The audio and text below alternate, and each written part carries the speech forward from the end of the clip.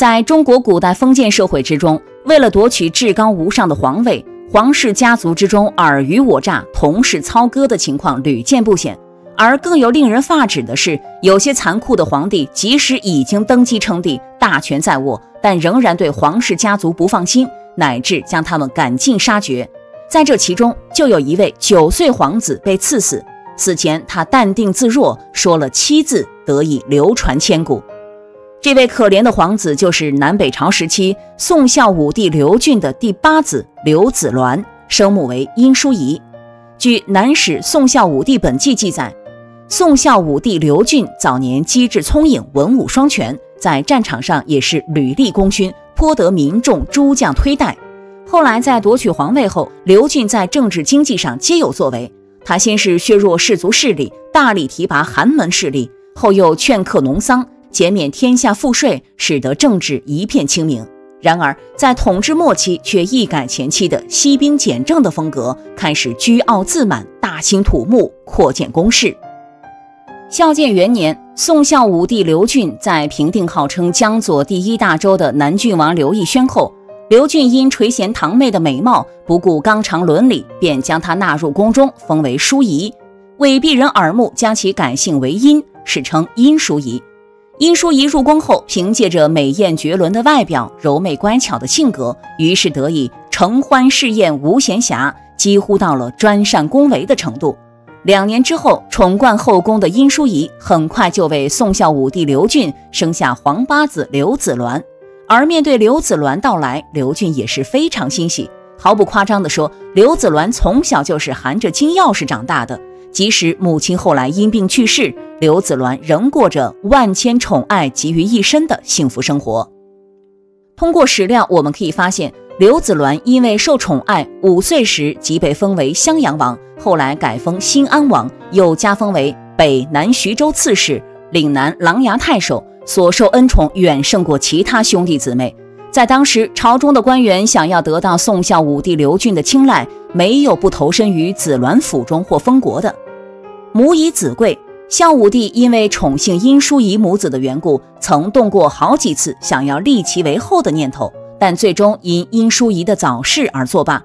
可以说，在殷淑仪死后，刘俊精神涣散，痛不欲生，整天不理政事，每晚睡前都要在他的灵前倒酒对饮。之后痛哭流涕到难以自拔，最后刘俊还下令给殷淑仪盖一座庙，庙成后就以刘子鸾的封号命名，称为新安寺。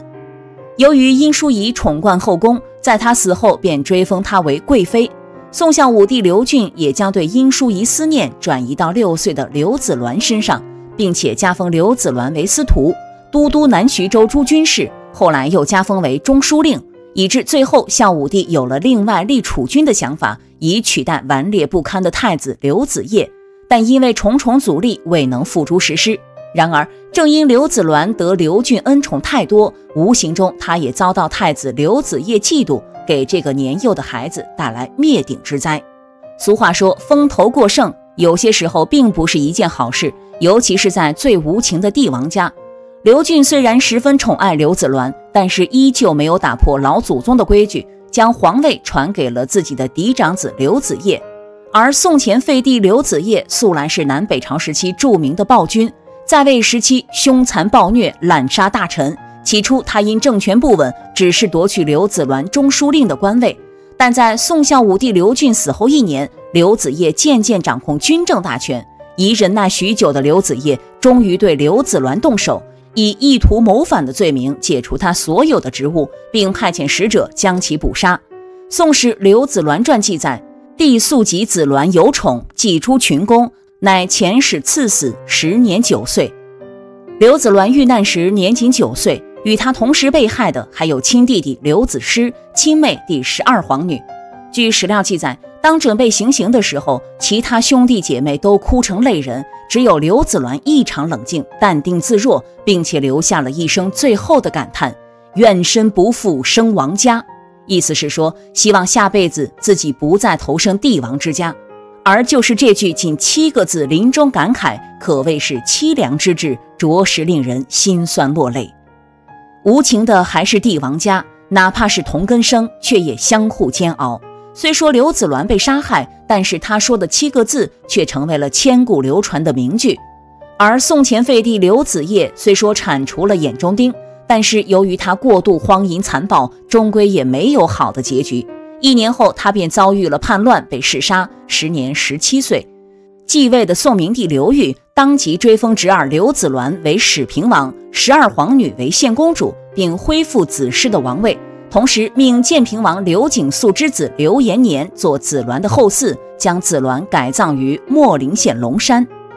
不过，这个刘子业的结局也不是很好。或许是小时候遭受父亲刘俊训斥过多，他连死后的父亲也没有放过。他命令在太庙里挂上各位先祖的画像。当看到刘俊的画像时，他说他是大酒糟鼻，怎么没有了？立即叫人重新画上。对父亲这样，对母亲更是悖逆不当。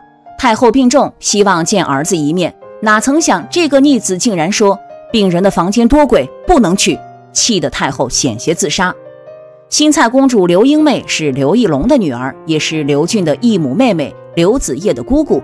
她竟然强迫刘英妹留在后宫，封为谢贵嫔，之后又杀了一宫女，送到刘英妹父家何迈府上，鬼称刘英妹已死。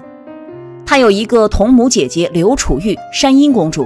主动进宫与其同吃同住，这个山阴公主向刘子业索要男宠，于是刘子业一下子赏给了她三十个面首。山阴公主看上了他的姑父楚渊，刘子业命令楚渊待在公主府，一连十日，楚渊抵死不从，最后总算得免。这都什么事儿？他曾把诸王妃、公主召集起来开集体派对，强令近臣凌辱他们。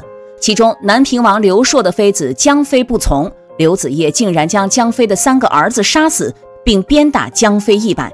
他还当着他叔叔刘修仁的面，强令手下羞辱修仁的母亲杨太妃。刘义恭是刘裕的儿子，文帝刘义隆的弟弟，也是刘子业爷爷辈的人物，是他的顾命大臣。看到刘子业的狂悖之风，忧惧万分，谋划废掉刘子业。不料泄密，被刘子业诛杀分解。剖开胃肠，挖出眼珠，浸泡在蜜里，做成鬼目粽。他害怕叔父在外镇作乱，于是将几个叔父调入京城，囚禁在大殿之中。其中的三个叔父刘裕、刘修仁和刘修佑，因为肥胖，被他装在竹笼子里称重，并称刘裕为猪王，刘修仁为沙王，刘修佑为贼王。他又在殿中挖了一个坑，里面填满泥水，把刘裕脱了衣服放入坑内，再在坑旁放了一个木槽，槽里装着食物，逼迫刘裕像猪一样吃食。你能想象这是真的吗？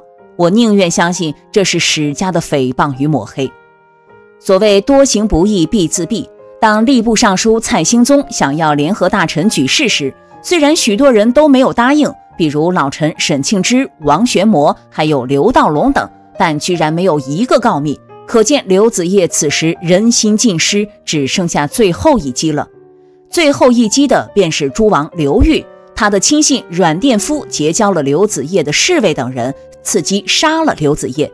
从十五岁登基当皇帝到十七岁被杀，仅仅两年的时间，刘子业做了无数残忍又荒淫的事。如果不是史书上明确记载了刘子业的年龄，我们真的很难想象。这么多残忍又荒淫的事，竟然出自一个十几岁少年之手。不过，他的下一任皇帝，他的叔叔刘裕，残忍程度比他有过之而无不及。刘裕就是后来的宋明帝，他也有许多的奇葩之事，我们以后再讲。